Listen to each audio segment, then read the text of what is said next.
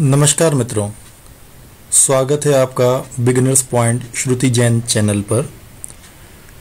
इस हफ़्ते की फेंगशुई टिप के साथ हम हाजिर हैं। इस हफ़्ते की टिप है, घर के मुख्य द्वार मेन गेट के सामने किसी भी तरह का कोई अवरोधक ऑब्स्टिकल नहीं होना चाहिए। घर का मेन गेट घर के अंदर प्रवेश करने वाली एनर्जी को बहुत ही ज़्यादा इम्पैक्ट होता है। अगर घर के मेन गेट के आगे किसी भी तरह का कोई अवरोधक है ऑब्स्टिकल है तो घर के सभी लोगों को किसी न किसी तरह की परेशानी बनी रहती है।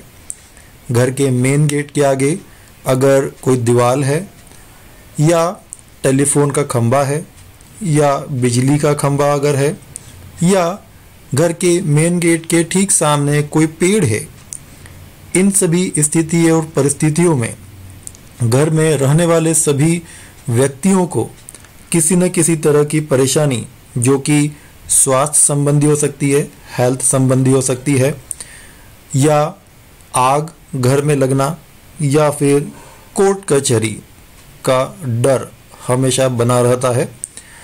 इस तरह की जो परेशानियाँ हैं, अगर इनमें से कोई चीज़ मेन गेट के आगे है, किसी भी तरह का अवरोधक है, या पेड़ है, या टेलीफोन का खंबा है, बिजली का खंबा है, ऐसी कोई भी चीज़ जो कि घर के मेन गेट के ठीक सामने किसी न किसी तरह के से अवरोधक के रूप में खड़ी है, और आप उन्हें अगर हटा नहीं सकते, उस स्थिति में हम आपको एक उपाय बताते हैं।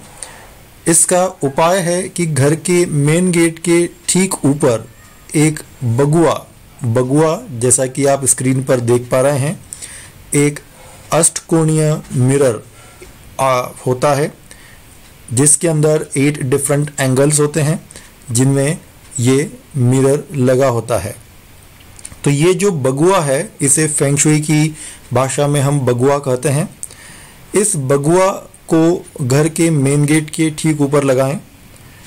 इस बगुए की मदद से जितनी भी नेगेटिव एनर्जीज हैं, वो घर से बाहर की ओर भागती हैं या घर में किसी भी तरह से प्रवेश नहीं करती हैं। तथा जिस तरह से अभी मैंने कुछ देर पहले आपको बताया कि किसी भी तरह का अवरोधक है, अगर आप उनको नहीं भी हटा पा रहे हैं तो उस स्थिति में भी जो परेशानियाँ हैं, जिनकी अभी हमने बात करी, उन सभी परेशानियों से बचाव होता रहेगा। ध्यान रहे कि अगर घर में या घर के आसपास निगेटिव एनर्जी बहुत है, उस स्थिति में ये बगुआ अपने आप टूट जाता है या इसमें दरार पड़ जाती हैं। तो आपको एक चीज़ का विशेष ध्यान हमेशा रखना रहेगा कि जब कभी भी आप ये बगुआ लगाएँ और उस बगुए को अगर आप टूटा हुआ पाएँ या उसमें किसी भी तरह की कोई दरार आपको मिले तो उसे तुरंत बदल दें या फिर उसको हटा दें, वहाँ से हटा करके रख दें। बगुआ बदल देना उचित होता है, जिससे कि हमारे घर सुरक्षित रहता है और स्वास्थ्य संबंधी फाइनेंशियल संबंधी कोर्ट कचहरी संबंधी सभी समस्याओं का निवारण होता रहता है। इसी तरह से आज की दूसरी टिप है, घर के मेन गेट के दोनों तरफ़ कुछ सुगंधित फूलों वाले गमले हमेशा होना चाहिए। अगर ये गमले घर के मेन गेट के दोनों तरफ़ रखे हों तो बहुत ही उत्तम होता है। घर के मेन गेट के दोनों तरफ़ फूलों के गमले रखने से घर में रहने वाले सभी लोगों के भाग्य में वृद्धि होती है। पर इन फूल के पेड़ पौधों को ध्यान रखते समय ये ज़रूर ध्यान रखें कि ये पेड़ किसी भी तरह से कांटे वाले ना हों। इनके अंदर किसी भी तरह के कांटे नहीं होना चाहिए।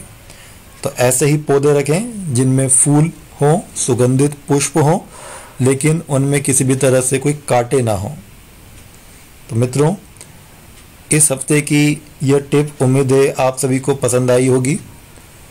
इसी तरह की और टिप लेकर के हम अगले हफ़्ते फिर आपके सामने हाजिर होंगे। धन्यवाद।